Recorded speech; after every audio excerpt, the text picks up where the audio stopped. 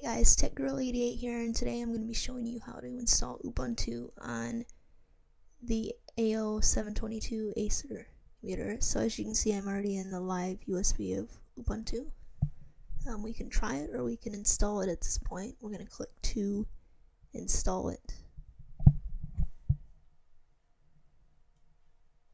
And so here we go, it's showing us um, all the things, the requirements we need to meet. Saying we're not connected to the internet, um, we'll fix that in a step going forward.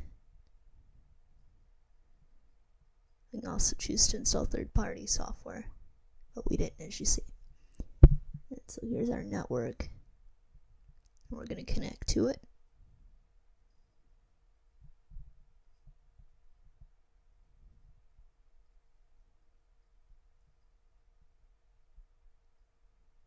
And type it in the password. Click that connect button.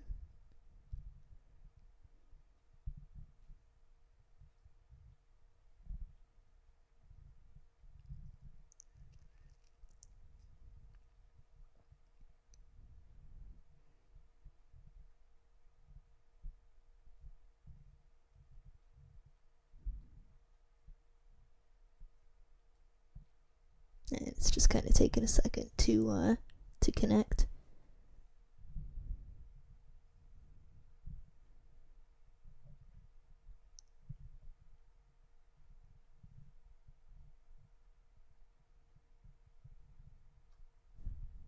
Alright, here we go.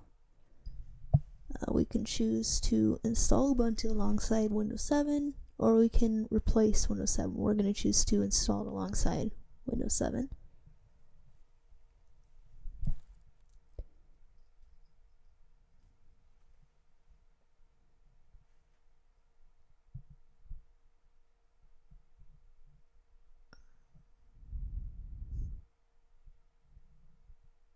Alright, so here is where we're going to configure our time zone. Um, just type in the nearest uh, major city by you. For me, it's Detroit.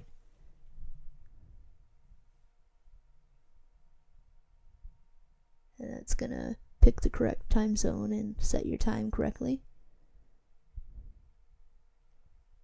We're just going to wait for this to load. Alright, so here we get to choose the keyboard layout. Um, unless you like any fancy options, just can continue on with the uh, English and then English for the settings. Um, but you can also use Mac, Macintosh, and other settings, as you can see.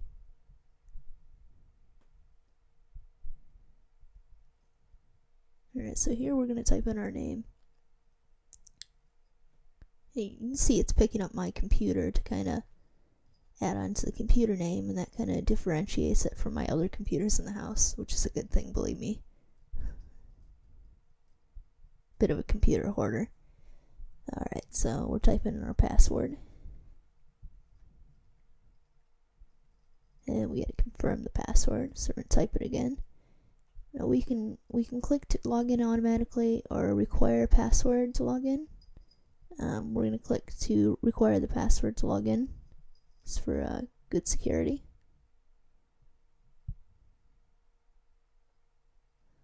Alright, so here it's asking us for our email address to join Ubuntu One. Ubuntu One is storage. Um, I don't have any interest in it, so I'm not going to sign up for it here. So right now, it's going to install Ubuntu on the computer. Um, I'm going to stop the recording here and resume it once we've completed it. Um, please note that the installation can take, uh, you know, as many as 20 30 minutes to complete. Um, so kind of be patient. Uh, don't do anything to the computer. Make sure it's plugged in to power before you uh, install Ubuntu like this, because um, it can take a while. So I'll pause the recording here.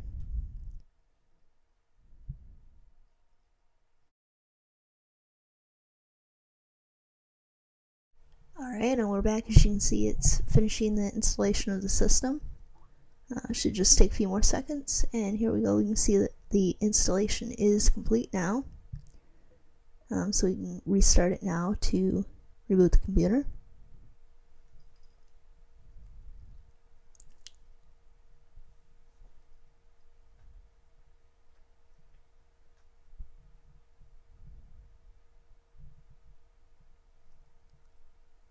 Alright, so as you can see, it is getting ready to reboot the computer.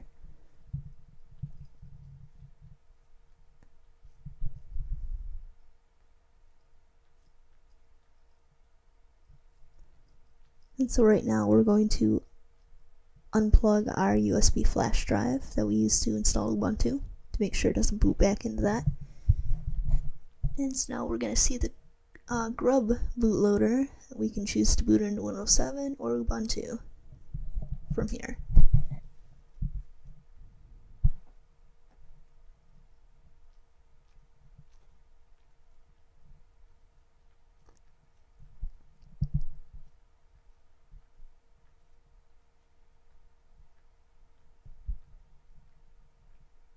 Alright, so you can see some, you're going to be seeing some command lines here. Uh, not a big issue unless it simply stops booting, but as you can see it's booting up just fine.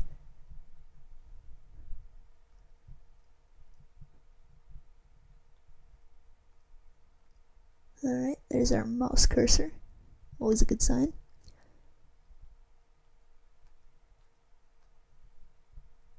And there's our logon screen. We're going to type in that password that we set earlier during the installation.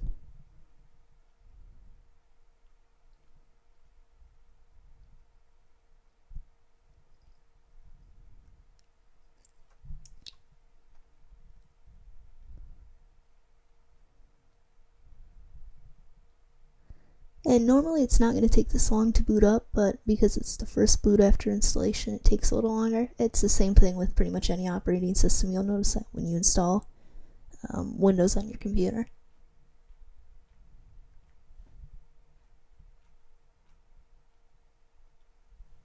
Alright, and here we go. We now have Ubuntu uh, 13.04 on the computer. Um, everything's working good. Got our Wi Fi. It recognizes our battery.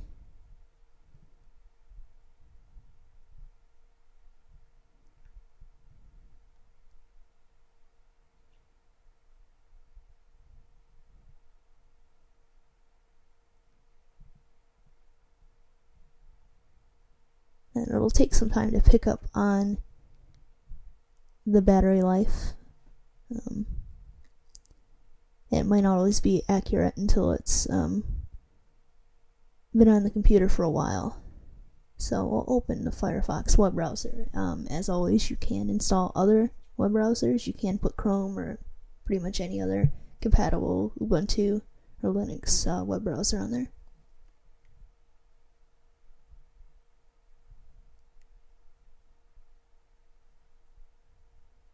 And here we go. Google's working. Uh, successful installation. I hope you've enjoyed this tutorial. If you have any questions, feel free to comment and ask me below. Uh, I'll see you in my next video. Peace.